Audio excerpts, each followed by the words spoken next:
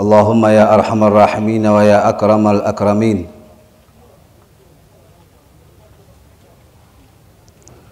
اشهد أننا نحب هذا الرسول الكريم. وإن لم نكن صادقين في محبتنا. مقصرين لاتباعنا لنبينا صلى الله عليه وسلم. جامعين للسيئات. مقلين من الحسنات. غافلين عن حساب يوم الميقات. بجاه هذا الرسول وسندنا العظيم سيدنا محمد صلى الله عليه وسلم. اللهم اجمعنا وأحبابا لنا في دارك الفردوس يا رجوانا يا أرحم الراحمين. السلام عليكم ورحمة الله وبركاته. Uwanja mtukufu na uwanja mkubwa yote ni kwa ajili ya furaha na taadhima na hishma iliyokuwa ya hali ya juu kumheshimu na kumadhimisha kiongozi wetu na kiongozi wa umma mtume Muhammad sallallahu alayhi wasallam. Na wakati kama huu ndo jambo hili linastahiki zaidi kwa kiumbe huyu mtakatifu, kwani katika hadhara kama hizi tunajifundisha mengi tu na tunatoka na faida zilizokuwa nyingi mno. Mada pamoja na kwamba mada sijaambiwa, nimeikutia hapa hapa, lakini mada hadhara ya Mtume, basi lolote linawezekana kusemwa, na vile vile kwa baraka na nafahati za hadhara hii takatifu bila shaka muumini ni kioo cha mumin, ni mada ambayo kwamba iliyotakiwa insha Allah itazungumzwa. Tujue kwamba hakuna waumini waliokuwa wakubwa zaidi na wenye cheo na wenye nafasi kuliko masahaba radhiallahu ta'ala anhum. Wao ni waumini, lakini sio waumini tu peke yake, wana nafasi kubwa kuliko yoyote na kuliko mwenye nafasi kwa sampuli na kwa namna yoyote. Lakini pamoja na hivyo, Mwenyezi Mungu aliwatia adabu ili wakae vizuri na huyu mtume ambaye ndio kioo kikubwa kuliko vioo vyote kwa muumini. Baada ya adabu ya kwanza, adabu ya kwanza ya ayyuhalladhina amanu la tuqaddimu baina yadai llahi wa rasulihi wattaqullaha inna Allaha samiun alim. Hii ya kwanza. Adabu ya pili katika suratul Hujurat au suratul Adab, ya ayyuhalladhina amanu la tarfa'u aswatakum fawqa sauti nabii, ndo adabu ya pili. Wala tajharu lahu bilqawli kajahri ba'dikum li ba'din an tahbata a'malukum wa antum la tash'urun. Sadaqa Allahu alazim. Waumini walitiwa adabu na Mungu, waumini wakubwa na ni maswahaba wakubwa na ni wenye nafasi kubwa. Maana yake kwamba ili wawe na adabu na kioo kikubwa ambaye ni Mtume Muhammad, kabla ya kioo chengine chochote. Maana ya aya ilikuwa kuna tofauti kwanza, sababu ya kuteremka aya. Sayyidina Abubakar na Sayyidina Umar radhiallahu ta'ala anhuma walitofautiana baada ya kuja ule msafara, kwa kauli ya al-Allama Ibn Kathir, ukiacha kwamba kuna sababu nyingine zipo zaidi ya hii, zaidi tatu, zaidi ya nne, lakini naichukua hii kwa sababu Ibn Kathir ndio ameitia nguvu zaidi. Ulipokuja msafara na ule msafara ulikuwa umekuja kwa lengo la kibiashara, Abubakari Siddiq radhiallahu ta'ala anhu akamchagua kiongozi asimamia ule msafara, Al-Aqra bin Habis radhiallahu anhu.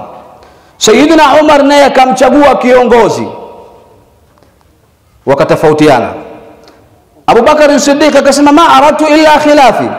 Saidina Umar akamwambia ma aratu khilafak, Akamwambia mimi nimemchagua huyu, sio kama nataka mimi uongozi, ah, nimetaka awe kiongozi asimamie mambo ya biashara basi. Saidina Umar akasema a a, na mimi sitaki uongozi wako, na mimi nitamchagua wangu, kila mtu amchague wake. Suul adabi ma rasulillah. Sasa walipokuwa wanazungumza hivi, fartafaat aswatuhuma inda nabii sauti zao zikanyanyuka, wakawa wanazungumza yale maneno kwa sauti. ndo Mwenyezi Mungu akaiteremsha hiyo aya ya ayuha alladhina amanu la tarfa'u aswatakum fawqa sauti nabii, msinyanyua sauti zenu nyinyi waumini, hizo sauti zikawa fawqa sauti nabii, juu zaidi ya sauti ya Mtume Muhammad. Wala tajharu lahu bilqawli kajahari ba'dikum ba'dha, msimwite kama mnavyoitana nyinyi kwa nyinyi. Aya hii kama ile yatajalu dua rasuli bainakum kaduai ba'dikum ba'dha, zinaendana hizi, ziko sawa.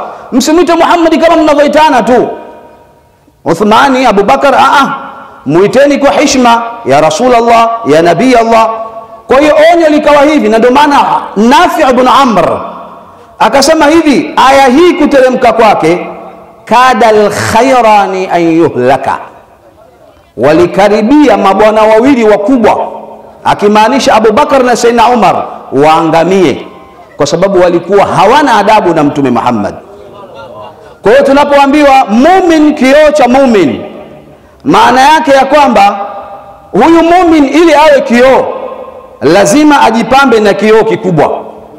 Hakuna kioo kikubwa kama hiki kichwa kikubwa Mtume Muhammad, kwa ukamilifu wake, ndio maana akawa kioo kikubwa. Na ndio maana angalia, baada ya kuteremka hii aya ya ayuha alladhina amanu la tarfau aswatakum, kwa mujibu al-Allama Ibn Kathir kwenye fasiri yake Sayyidina Umar ibn al-Khattab alikuwa akiongea na Mtume sallallahu alaihi wasallam, yale maneno anayoongea naye alikuwa hasikiki kwa Mtume Muhammad kwa kuogopa, mpaka Mtume amrudie mara mbili mara tatu, unasemaje Umar, unasemaje Umar, kuna jambo kadha kadha kadha kadha kadha, kwa sababu ya kuwa na adabu na Mtume Muhammad.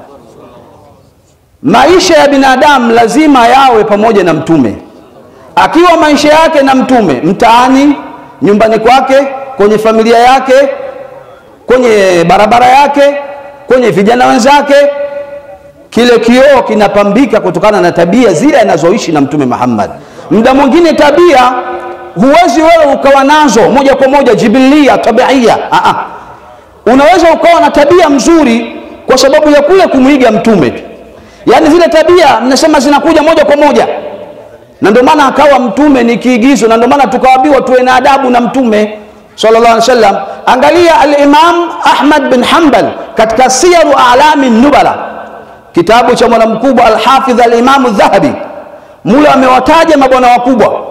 Kuna sehemu maalum kamzungumza Imam Ahmad bin Hanbal al-Muhaddith al-Hafidh, mwanawe Abdullah ibn Ahmad warithu sirri, ndio mrithi wa baba yake Sayyid Ahmad, eh, Ahmad bin Hanbal, anasema kwamba raaitu abi yaakhudhu sha'ratan min sha'ri nabiyi sallallahu alayhi wasallam fayadauha ala fihi yuqabbiluha wa ahsabu anni raaituhu يضعها على عينيه ويغمسها في الماء البارد ويستشفي بها ويشربه. هو نتابع أنا سمع بابا عنقو نممونا. أليكو أنا نيولي موجة يا متومي محمد. إذا نيولي أليكو أنا يتشكوها إمام أحمد بن حنبل وكزنغمزة كتك ونوازوني تنوالي ولي ونوازوني الوراعين. ونمزنغمزة إمام أحمد. Yani wanawazuoni ambao kwamba walikuwa wana sifa ya uchamungu, sio uchamungu ule wara, uchamungu wa kupitiliza wa kuvuka mpaka. Unamzungumza Imam Ahmad bin Hanbal.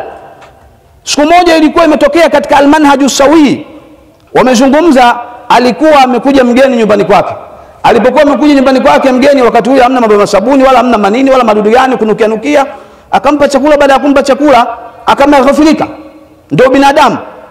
Akazunguka nyuma, akaenda kwa jirani yake, akachukua mchanga. Ule mchanga akaja akauleta kwa yule mgeni wake, ili kwamba aondoe harufu kwenye mkono wake, kwa sababu walikula vitu vya harufu harufu. Baada ya kutumia ule mchanga kuondoka ile harufu, mgeni ameondoka. Baadaye, baada ya muda, Imam Ahmad bin Hanbal akakumbuka, Allahu akbar, kumbe nimechukua mchanga ule mchanga wa jirani, sijamuomba ruhusa, nimefanya jambo kubwa. Akahisi nimefanya jambo kubwa, kachukulia kwamba jirani, halafu jirani mwenyewe hajamtendea haki, ndio alichochukulia yeye, kwa sababu kuna kile kufanya jambo ni dhambi moja, umechukua kitu bila ruhusa ya mtu moja. Pili, dhambi inaongezeka zaidi, kwa sababu nimechukua kitu hiki kwa jirani, ni jambo dogo, linaweza likaondoka kwa sababu ya kutawadha, kusema astaghfirullah, wala sio katika madhambi makubwa lakini angalia alivyokuwa na wara Imam Ahmad bin Hanbal, akawa analia kwa sababu ya dhambi hii. Miaka 40 anaona amefanya dhambi kubwa. Imam Ahmad bin Hanbal ukimsoma alikuwa akiswali kwa siku kana yusalli 300 rakaa fi kulli yawm. Alikuwa anaswali rakaa 300 kila siku.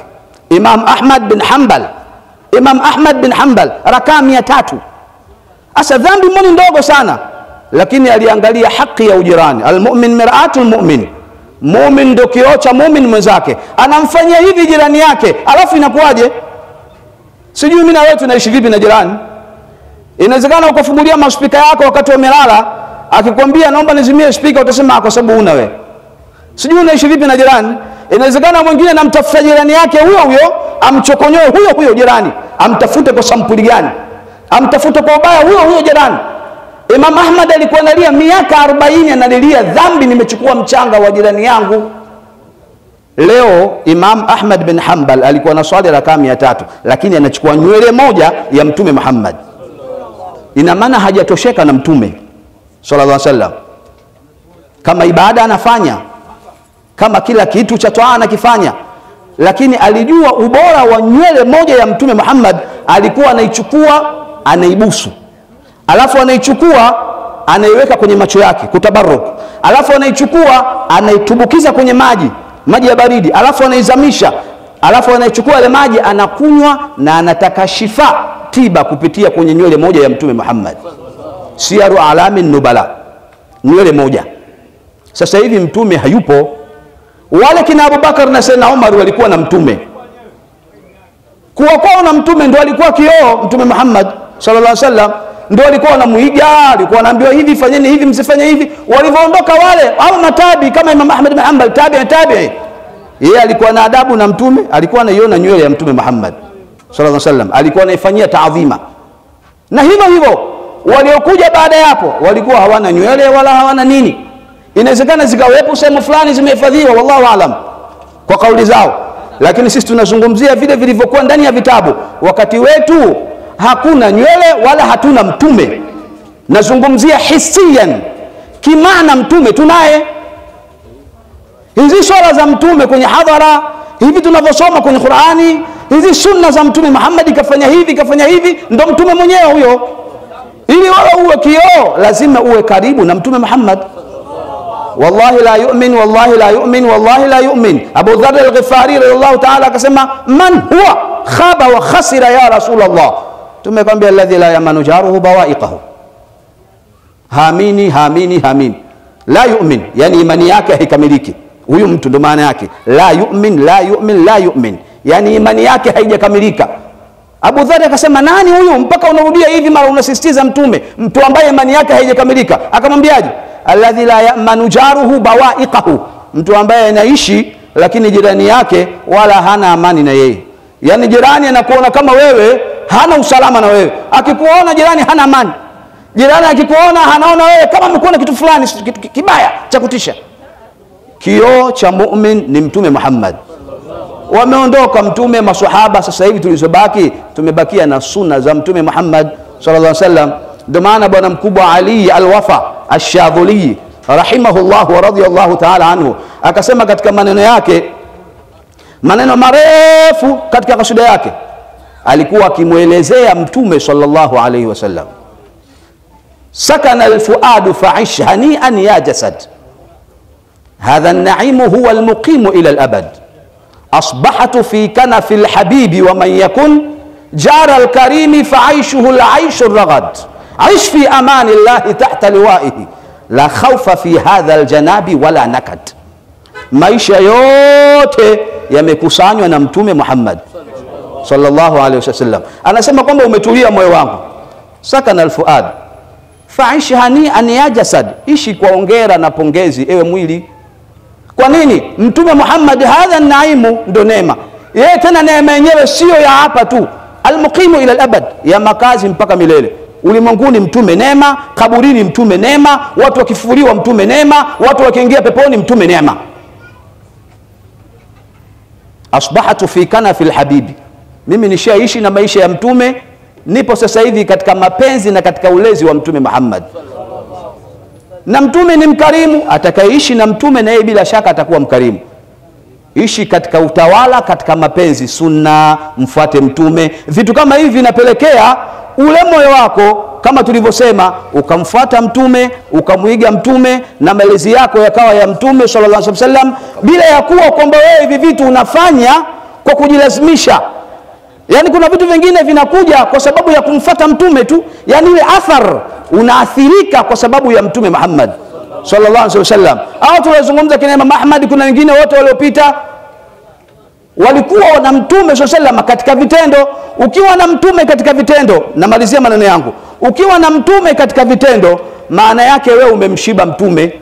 Huo ukioa almumin miratu lmumin maana yake wewe ushakuwa na mtume na ushaiva na mtume. Mwenyezi mungu subhanahu wa taala atujalie katika wale ambao kwamba wanasikiliza maneno na wanafuata. mwenyezi mungu subhanahu wa taala atujalie tuwe kioo kwenye kwa waumini na kwa jamii mzima. Wassalamu alaikum warahmatullahi taala wabarakatuh